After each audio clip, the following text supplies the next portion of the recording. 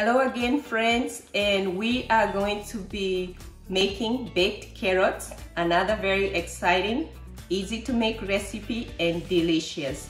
Okay so what I have here is some carrots some paprika black pepper and some thyme some salt and some garlic. So we'll begin by chopping the carrots. First of all we'll peel them and then chop them into a quarter inch and then we'll mix them and put them in the oven. So the first thing we want to do is peel the carrots. And I will give you a trick.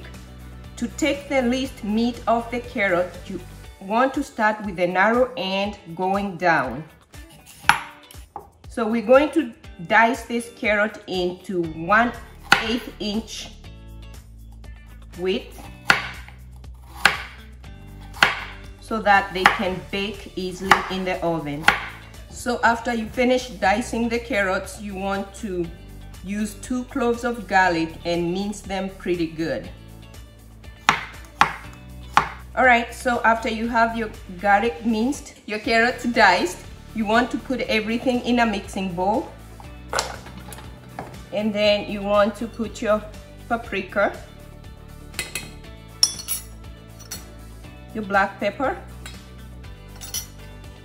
your thyme,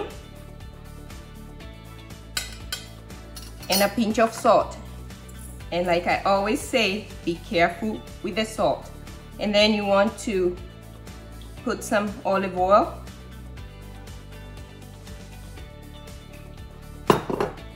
And mix it really nicely with your hands.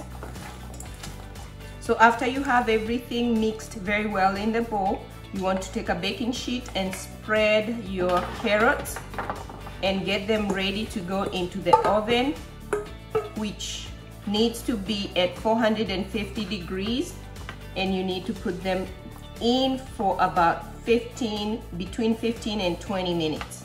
So here I have our carrots that are ready to go in the oven that has been heated to 450 degrees and they will be there for 15 to 20 minutes.